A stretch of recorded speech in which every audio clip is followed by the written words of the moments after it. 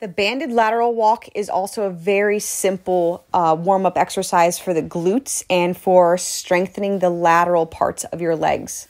We are so used to forward walking, walking in a straight line, going straight ahead, so we rarely get to use the muscles as often going side to side laterally, like I'm doing in this video. The lower the band is on your leg, the harder this exercise will become.